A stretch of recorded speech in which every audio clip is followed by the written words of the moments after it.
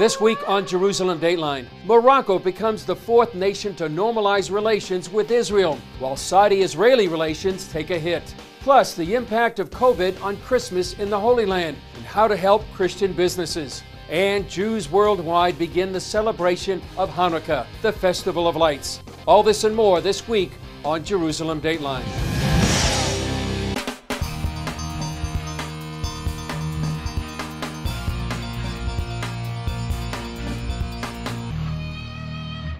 Hello and welcome to this edition of Jerusalem Dateline. I'm Chris Mitchell. In the latest sign of shifting attitudes in the Middle East, Morocco became the fourth Arab country in four months to join the Abraham Accords with Israel.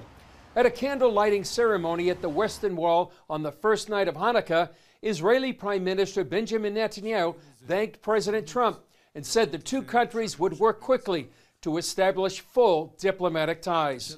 We'll also institute direct flights between Morocco and Israel and Israel and Morocco, giving uh, this bridge of peace an even more solid foundation. This will be a very warm peace.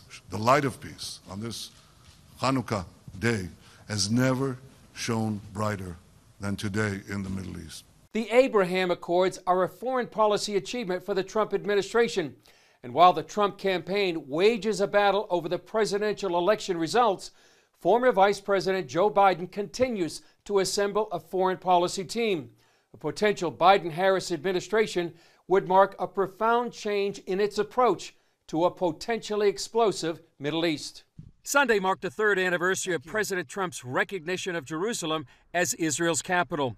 To celebrate, Israeli Prime Minister Benjamin Netanyahu put Trump's declaration alongside President Harry Truman's recognition of the newly born state of Israel in 1948. These two historic proclamations will never be forgotten. They'll never be forgotten by the Jewish people and by the Jewish state. They will be cherished for generations. However, there are concerns that some of the advances made by the Trump administration could be changed or even reversed. So far, Joe Biden has indicated he would likely keep the U.S. Embassy in Jerusalem if he becomes president. But what about other Trump policies in the Middle East? Michael Oren is Israel's former ambassador to the U.S. With respect to Iran, uh, both the former vice president and his running mate, Senator Harris, have said unequivocally that they intend to renew the Iran nuclear deal of 2015. If Iran returns to the levels of uranium enrichment established by that deal, it's not very difficult for Iran to do. And that means lifting sanctions, and that has profound ramifications for Israel in the Middle East. Netanyahu also noted other positive moves made by Trump on Israel's behalf. You recognize Israel's sovereignty over the Golan Heights. You recognize Israel's legitimate rights in Judea and Samaria. You proposed a realistic peace plan that acknowledges those rights and maintains Israel's ability to defend itself. You forged the historic Abraham Accords. Oren believes a Biden administration would not invest in those accords the way the Trump administration has. I don't think they're going to invest money, for example, in building the Israeli Sudanese peace because that belongs to the, the Trump era. And again, the emphasis will be on the Palestinian issue and not on the Abraham Accords. On the Palestinian front, Senator Harris has embraced a return to negotiations with the Palestinians and stated, We are committed to a two state solution, and we will oppose any unilateral steps that undermine that goal. That signals opposition to building in the Jewish communities in Judea and Samaria, the West Bank, and restoring funding to the Palestinian Authority. From Tehran to the West Bank, it's clear a Biden Harris administration would set a dramatically different course than what President Trump has for the past four years for Israel and the Middle East. Since the first signing of the Abraham Accords between Israel and two Arab states, Many speculated Saudi Arabia might soon follow suit, but now there seems to be other factors at play. Just this past week, a Saudi prince unexpectedly blasted Israel during a security conference in Bahrain, in a session ironically titled New Security Partnerships in the Middle East. They profess that they want to be friends with Saudi Arabia.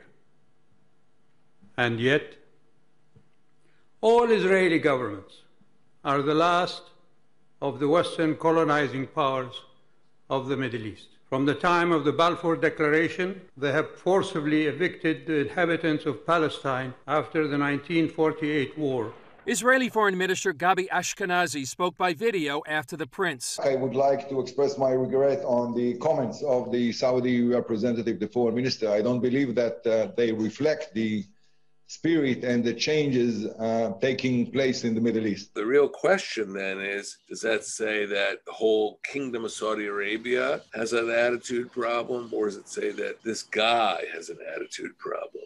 Former Israeli UN Ambassador Dore Gold also attended that conference, witnessing the prince's accusations. I think he was being used by the highest authorities in Saudi Arabia to put some distance between us and them. Gold tells CBN News the attitude toward Israelis appeared very warm, except for the prince. Gold believes Saudi Arabia could still come around, mainly because they have a common enemy. I think it's the Iranian factor which gave birth to the Israeli Arab peace process as we know it today. Danny Danon, another former UN ambassador, tells CBN News he believes the Saudis will eventually join the Abraham Accords. They are the most important one for the region, for Israel, and they understand that once they will normalize the relations with Israel, we will see much more stability in the region and it will be a, a major force to block the hostility coming from Iran. Gold points to Washington as being the major part of this puzzle. And what happens next? If they hear from Washington, we like the Abraham Accords, we want more treaties between Israel and its neighbors, great. Gold says while the Trump administration has improved the connection between Saudi Arabia and Israel, which led to opening its airspace to Israeli planes, it could all change if a Biden administration were to take a different approach. If, on the other hand, they uh, don't acknowledge that, they say, no, you want to improve the Middle East's environment, you know, give the Palestinians more money and make the Palestinians the center of everything, that will not move us very far along. You saw Danny Danon, Israel's former ambassador to the UN, comment on Saudi Arabia.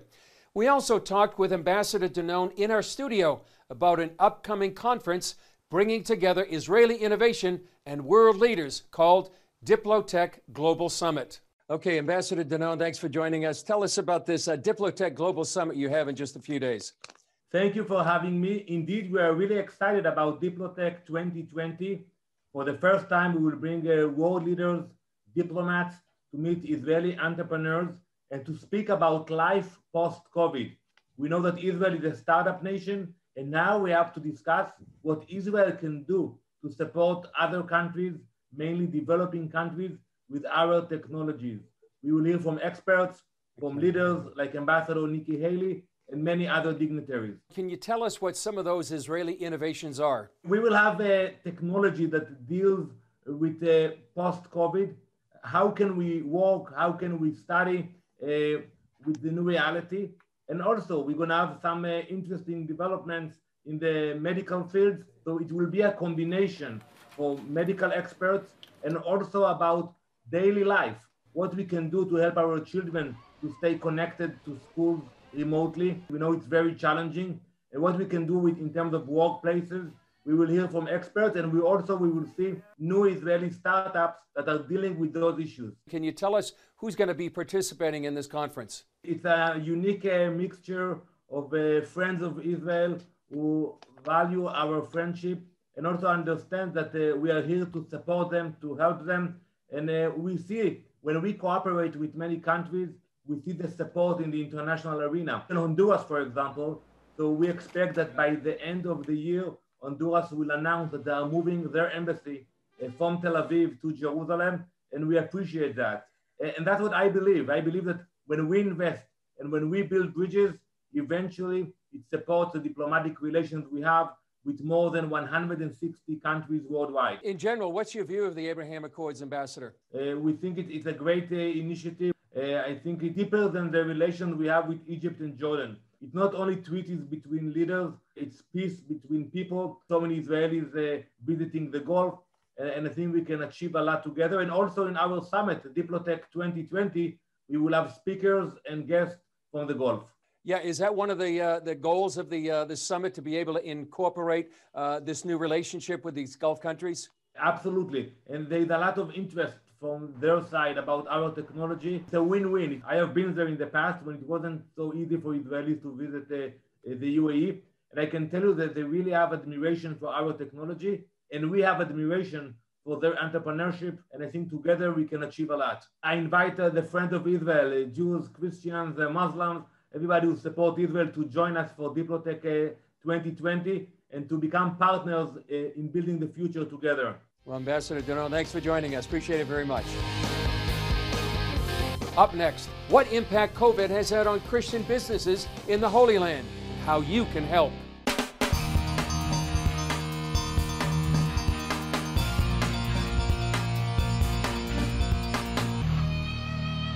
In a few days, Christians around the world will celebrate the birth of Jesus Christ.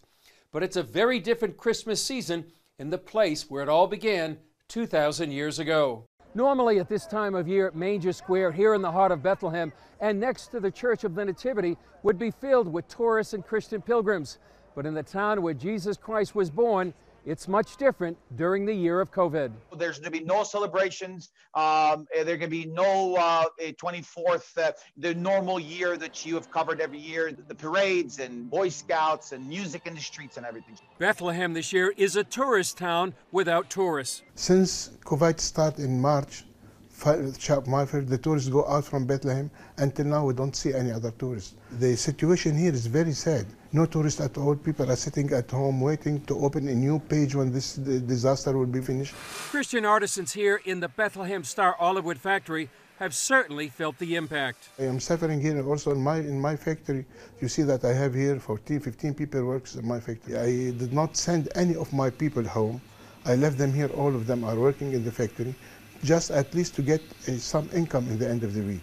That's where Artza Box comes in, a Jewish company designed to bring the Holy Land to Christians in North America. Israel has such strong significance to so many people, so many different faiths, but about 95% of Christians in, in North America uh, for example, never actually make it over into Israel. And we spend our lives learning the Old Testament, the New Testament, all the stories and the people and the characters, and also the life of Jesus. You have no way to actually bring these stories to life. An Artza Box subscription provides gifts from the Holy Land four times a year, made locally by folks like Jamil Hosh. Last quarter featured Nazareth, and this quarter, Bethlehem.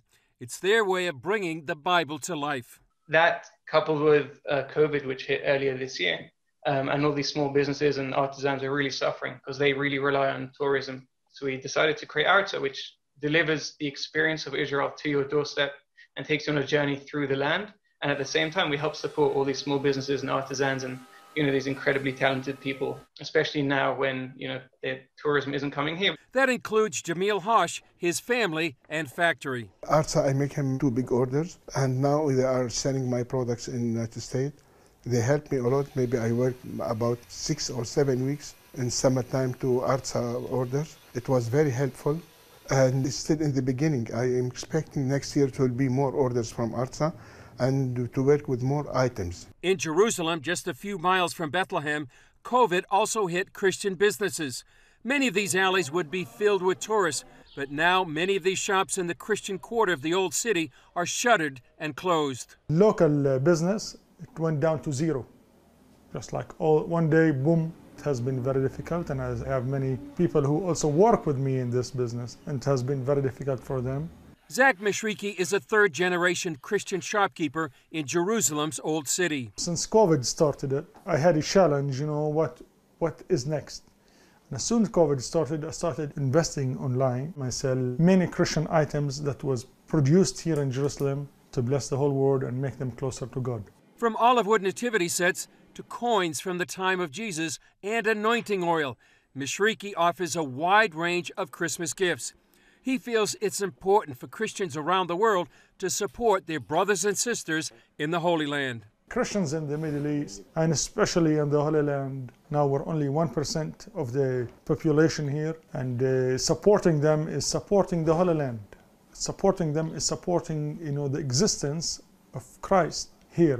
Shimel sees his efforts through Artza Box as a way to fulfill the Jewish concept of tikkun olam, healing the world. We're not just here to help Jews, we're here to connect and, and help everyone with the world, regardless of their faith. You know, that's a very Jewish value, which I think is very important. And secondly, you know, the Christian support for Israel and their connection to Israel is just overwhelming and incredible. So if there's a way on a personal level to give back to that, then I think that's very important as well. Both Artza Box and Zach's online store want to provide a meaningful Christmas. Buying, you know, gifts that is has meanings, you know, and made by Christians in the land, you know, uh, and it really support families in the in the land. We want to bless them back. We really hope that brings people a lot of Christmas joy and, you know, to celebrate your Christmas with Christmas ornaments from Bethlehem, made from olive wood as well, and you know, from all these beautiful products from the area, you know, which is the story of Christmas uh, we think people really enjoy and, and we hope people really do.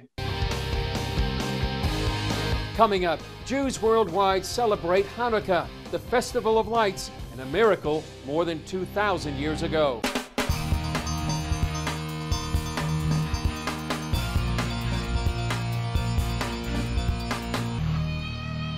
For eight days, Jewish people around the world celebrate Hanukkah, a holiday marking a great victory more than 2,000 years ago. This year, things will be a bit different due to COVID, but we'd like to show you what Hanukkah looks like in a non COVID year. Thousands of Israelis come to Jerusalem's Old City at Hanukkah to celebrate and see the lights. All over the world, Jews say special prayers, thanking God for miracles past and present, and light a special candelabra or menorah called a Hanukkiah for eight days. This is a holiday about spirituality. This is a holiday about um, values. This is a holiday about connecting to God. So many Israelis come here, everybody's attracted to the light. Also known as the Feast of Dedication, Hanukkah is not mentioned in the Old Testament, but it is in the New Testament.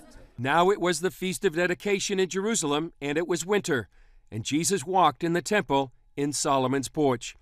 CBN News joined Rebecca Spiro and her family for the Jewish celebration. It's a holiday that celebrates religious freedom and our victory against oppression and our ability to rededicate the temple. In the second century BC, the Jewish people in Judea revolted against the Syrian Greek conquerors.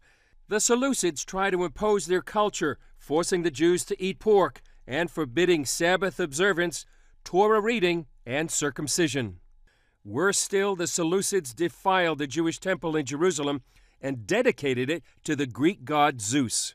Led by a priestly family known as the Maccabees, the Jewish people retook Jerusalem and rededicated the temple. But when they wanted to light the menorah, there was only a tiny bit of sacred olive oil left. We celebrate the eight days that the menorah burned, which is a miracle. It was beyond nature, and also the um, military victory. Eating fried foods like potato pancakes and jelly donuts is another Hanukkah tradition.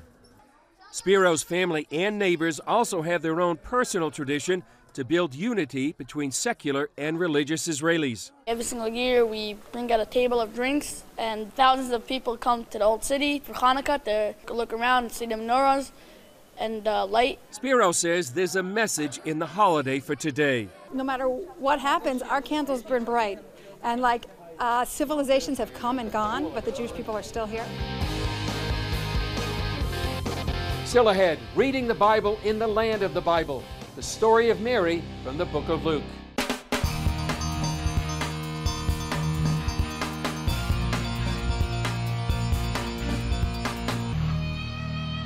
Last week, we brought you a new segment we call Reading the Bible in the Land of the Bible. We began in the book of Luke, chapter 1. Here's more from that chapter. Take a look.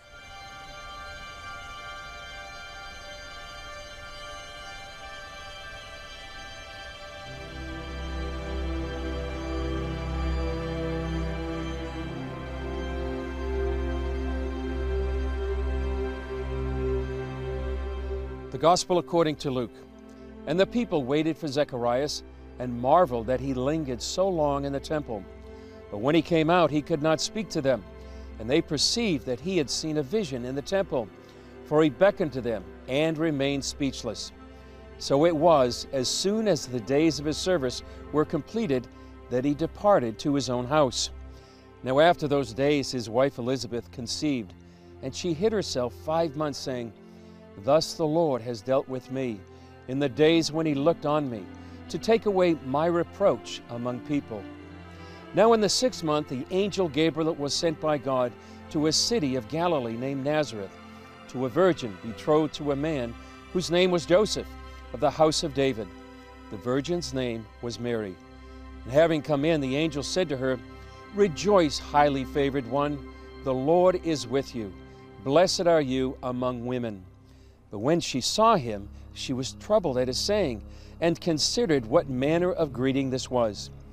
Then the angel said to her, Do not be afraid, Mary, for you have found favor with God.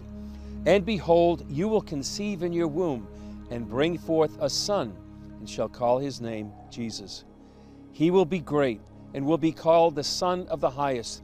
And the Lord God will give him the throne of his father David. And he will reign over the house of Jacob forever, and of his kingdom there will be no end. Then Mary said to the angel, How can this be, since I do not know a man? And the angel answered and said to her, The Holy Spirit will come upon you, and the power of the highest will overshadow you. Therefore also that Holy One who is to be born will be called the Son of God. Now indeed Elizabeth, your relative, has also conceived a son in her old age, and this is now the sixth month for her, who was called barren. For with God nothing will be impossible. Then Mary said, Behold, the maidservant of the Lord, let it be to me according to your word. And the angel departed from her. We hope you enjoyed reading the Bible in the land of the Bible. We filmed that in the Judean wilderness, not far from Jerusalem. Well, that's all for this edition of Jerusalem Dateline. Thanks for joining us. Remember, you can follow us on Facebook, Twitter, Instagram, and YouTube. And for all our Jewish friends, Happy Hanukkah and Sameach. I'm Chris Mitchell. We'll see you next time on Jerusalem Dateline.